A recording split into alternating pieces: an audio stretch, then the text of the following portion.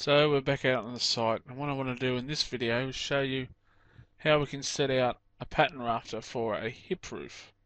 So last the last video we did pattern rafter for a gable roof for this building so this time we're going to change the design and put a hip roof onto this. So there's a couple more members in a hip roof than there is in a gable. With a gable roof we only had what we called our common rafters uh, and that was pretty much it. Now we've got a hip roof.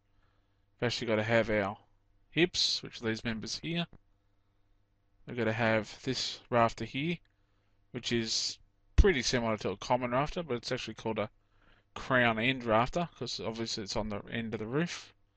And then we've got these shorter rafters, which are our what we call creepers. They're on both sides of the hip, on both sides of the roof. So that's what we've got to work out.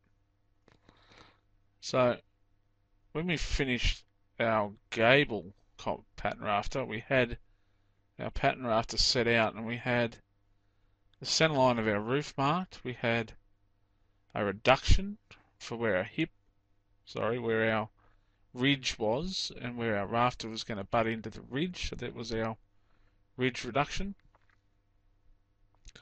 We had our plumb and level bevel marked for our bird's mouth, and we had our overhang marked on our pattern rafter. So now what we need to work out is the length of our crown end rafter and the long point of all our creepers. So if we go and have a look at the set out of our roof, um, with a hip roof, what we need to work out is exactly where our common rafters and our crown end rafters going to meet. So way to do that is take our half span, which is this distance here, 1810 in this case, measure it down the roof, and that will give you the center line of our centering rafters. So that's those ones there. So obviously on both ends of the roof, on both ends where there's a hip, we're going to have a centering set of centering rafters.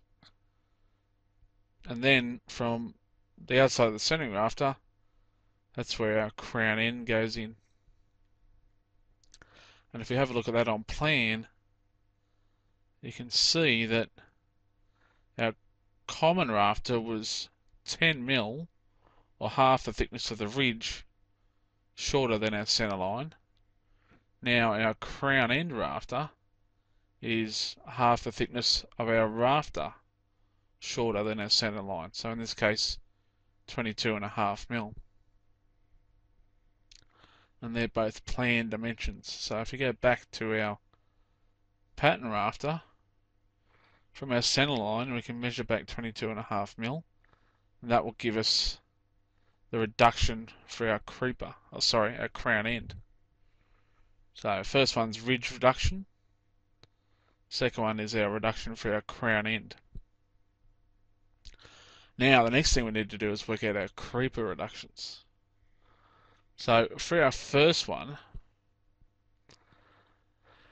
we know that our creeper on rafter spacing is 450 mil in this case.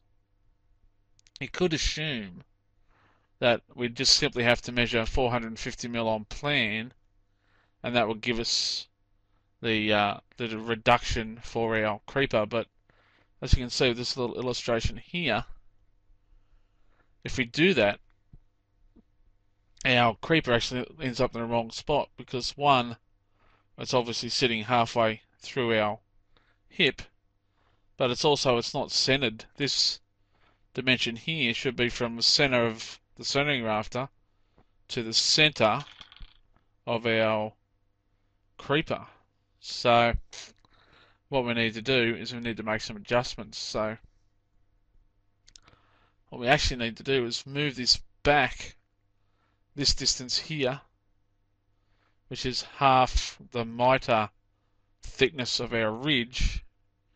And the way we can work that out is you can either do Pythagoras, so half the thickness of the ridge, which is 10, and we then then you'd have to use uh, because it's a 45 degree angle, uh, 10 squared uh, plus 10 squared would give you 14.14 or you can do um, 10 divided by 45 cos equals.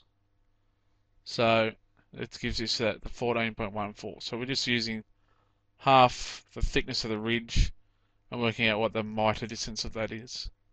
So that's our 14.14 so that brings the rafter back to there. It then needs to go across 22 and a half mil to this point here. And obviously we don't have a big gap so then we need to move it back up the roof 22 and a half mil or half our rafter thickness uh, so obviously this is for a 45 mil rafter. If you're using 35 you'd be uh, looking at 17 and a half mil. So that would actually move that creeper up into a position there which would be exactly where we want it. So once we do those calculations, we work out that our plan reduction is actually 442 mil plan measurement, not 450. So when we go over to our pattern rafter, there's a couple of ways we can do it. We can either use our steel square, measure down our 450 mil,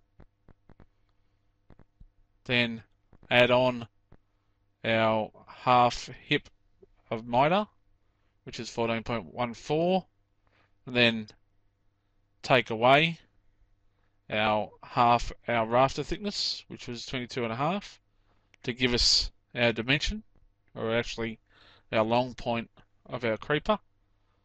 Uh, we could transfer straight off the square our 442, which gives us the same mark, or the other option is to simply calculate what the true length of that would be. So to do that, we can take our 442, divide that by 30 cos, which is our roof pitch, and that gives us 510.3, but it's hardly worth worrying about. So 510 mil down the roof as a true length for our reduction. So once we've worked out our first rafter and made the adjustments, we can then go down and add in our remaining creepers. So we can do that a couple of ways as well. We can use our steel square, use our plan length, which now is just going to be the same as our spacing, so 450 at a time. down the roof until we get past or as close to or less than 450 mil um, to our bird's mouth. So you'll usually end up with one that's sitting pretty close to the bird's mouth, but you need that one um, because it's going to pick up your fascia out uh, at the eave line.